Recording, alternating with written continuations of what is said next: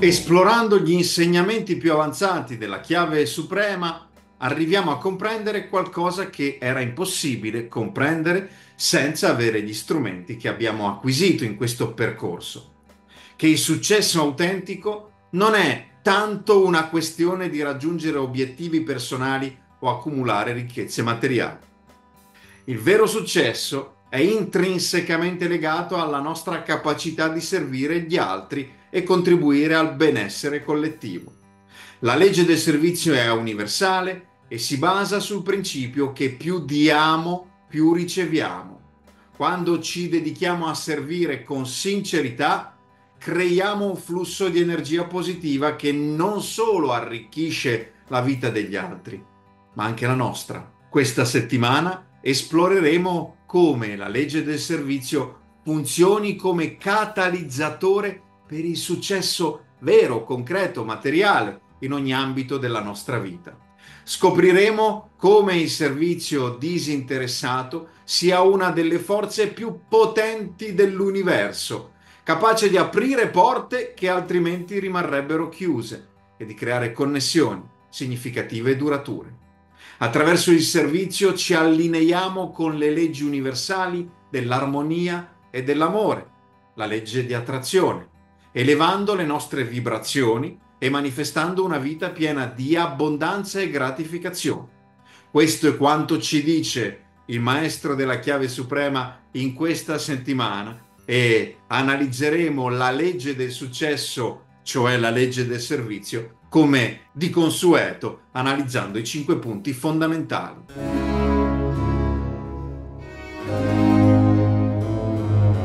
La consapevolezza del denaro è un atteggiamento mentale.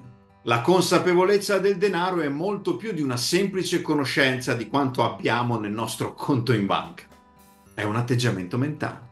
È la porta che ci apre alle opportunità economiche e al flusso abbondante delle risorse finanziarie. Quando sviluppiamo una mentalità di abbondanza, ci sintonizziamo con l'energia del denaro in modo positivo e costruttivo, permettendo a questa energia di fluire liberamente nella nostra vita. Il desiderio è la forza che attiva questo flusso, è come un interruttore che accende l'energia elettrica, rendendo possibile la manifestazione della ricchezza. Quando desideriamo sinceramente qualcosa e crediamo fino in fondo di meritarlo, iniziamo a muovere le energie necessarie per attrarre quella ricchezza. Perciò per attrarre il successo finanziario è essenziale sviluppare una consapevolezza del denaro basata sulla fiducia, sul desiderio sincero, sulla mentalità di abbondanza. Quando facciamo questo ci apriamo a un flusso ininterrotto di risorse che ci permette di servire gli altri, di servire il mondo e di creare un impatto positivo nel mondo.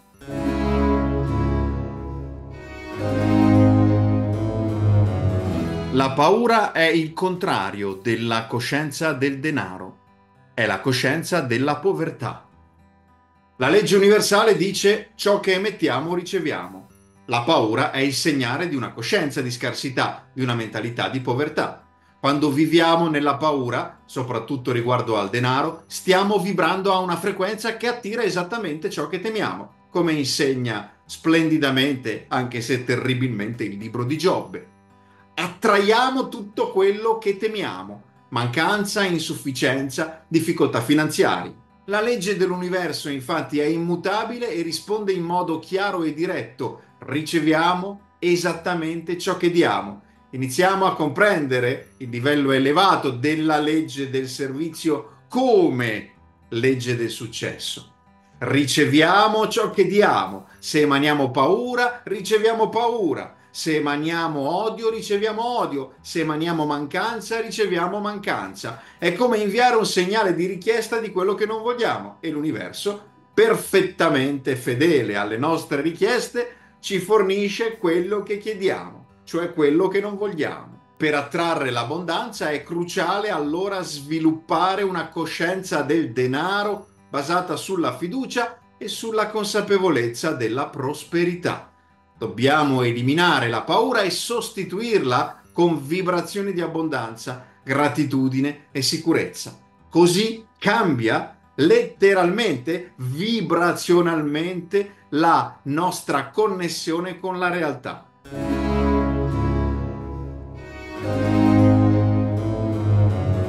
Creandosi nuovi amici si guadagna anche del denaro, oltre all'amicizia, e aiutandoli, mettendosi al loro servizio, si guadagnano ancora più soldi.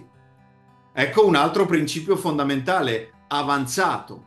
Il successo vero e duraturo nasce dal servizio agli altri riceviamo quello che diamo, riceviamo quello che diamo. Nel mondo si manifesta la legge dell'universo, la legge del dare e del ricevere, come fuori, così dentro, come sopra, così sotto. Le grandi leggi alchemiche, gnostiche ritornano con eh, stupenda concretezza qui.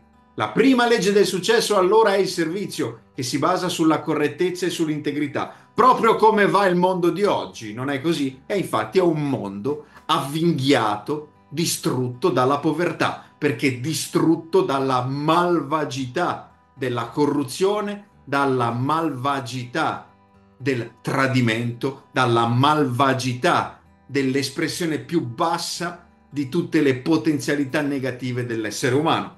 Tradotto in termini spirituali, o di legge di attrazione, riceviamo quello che diamo. Come dice un altro grandissimo maestro, Wallace di Waters, faremo questo mondo sempre come è la nostra intenzione farlo. Vogliamo le bettole, avremo le bettole. Vogliamo un mondo degradato, avremo un mondo degradato. Abbiamo un mondo degradato, vogliamo un mondo degradato.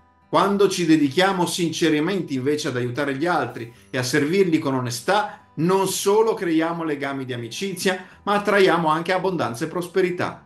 Il denaro in questo contesto diventa una conseguenza naturale del valore che offriamo al mondo. Pertanto per costruire un successo duraturo è essenziale agire con integrità, cioè andando contro questo mondo. Del resto siamo nel mondo, ma non siamo del mondo. E perciò dobbiamo servire gli altri con cuore sincero, anche se oggi a differenza dell'epoca di Hanel, dell'epoca della chiave suprema, che era un'epoca molto più avanzata della nostra, i passi indietro sono stati straordinariamente, veramente stupefacenti, i passi indietro che abbiamo fatto in tutti i sensi, e infatti noi attingiamo a queste grandi fonti perché ritroviamo la integrità della vera fonte originaria. Significa oggi andare contro tutto il nostro mondo, agire con integrità nonostante tutto, servire gli altri nonostante tutto. Quando diamo valore, e qui è la fede, è il fondamento concreto e pratico della fede, quando diamo valore e aiutiamo gli altri a crescere, dobbiamo essere certi che stiamo, nonostante tutto, creando un ciclo positivo di energia che non solo arricchisce la nostra vita, ma anche quella di chi ci circonda. E quindi, come dice ancora Wallace di Waters, più per tutti, meno per nessuno, più per tutti, meno per nessuno. Penso che sia il concetto più rivoluzionario di questo mondo degradato ultracapitalistico. In questo modo, cioè Facendo il contrario di questo mondo degradato ultracapitalistico, il servizio diventa fondamento di una vita prospera e appagante, prospera concretamente, perché più per tutti, meno per nessuno vuol dire che veramente le risorse sono distribuite. E quando le risorse sono distribuite e restano per fortuna distribuite perché l'universo funziona comunque nonostante gli uomini, ecco che ci allineiamo con le leggi universali di armonia e giustizia e diventiamo ricchi.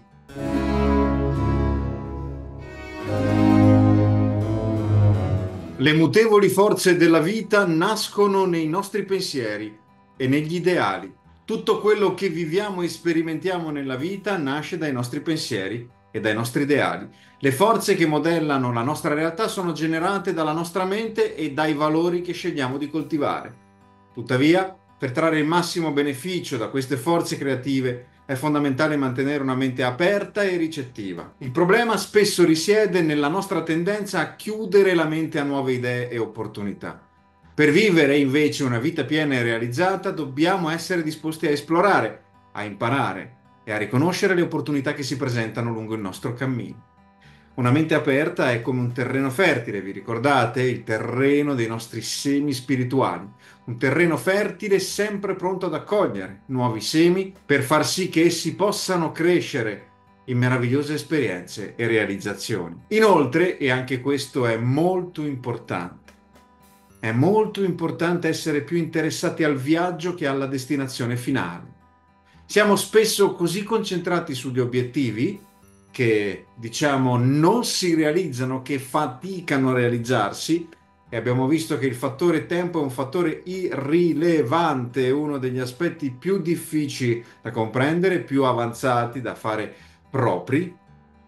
Ed è altresì qualcosa di comunemente praticato il fatto di dimenticarsi di vedere, di osservare, di apprezzare il percorso che è sempre un percorso di crescita, di avanzamento, non solo di apprendimento, di esperienza, ma proprio di avanzamento, di miglioramento. Ci dimentichiamo del processo, mentre il processo è la vera ricchezza, il percorso è la vera ricchezza, perché è il percorso che ci fa superare le sfide, ci fa prendere le lezioni, ci permette le trasformazioni che faranno sì che arriveremo a realizzare i nostri obiettivi.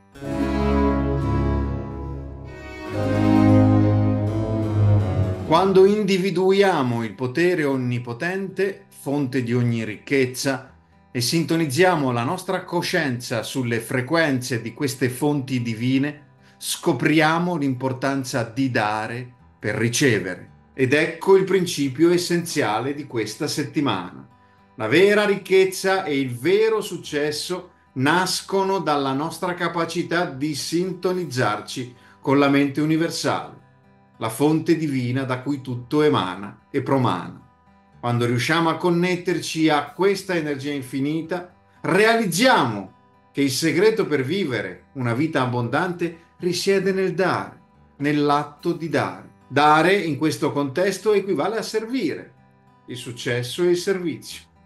Ogni ruolo e ogni professione da questa prospettiva sono un modo per contribuire al benessere collettivo. L'importanza del dare per ricevere si basa sulla legge universale di compensazione e reciprocità. Più diamo, più riceviamo. E abbiamo visto quanto ciò sia vero dal punto di vista metafisico, quanto sia metafisicamente vero, quanto sia ontologicamente vero. Questo ciclo virtuoso inoltre ci permette di continuare a dare e a ricevere in un flusso ininterrotto di energia e di abbondanza. Capire e applicare questa legge ci permette di vivere in armonia con l'universo e ci permette di riconoscere che la nostra ricchezza è illimitata, infinitamente espandibile attraverso proprio l'atto del dare. Più offriamo con cuore sincero e intenti puri, più l'universo ci ricompensa permettendoci di continuare così a prosperare per servire, a servire per prosperare.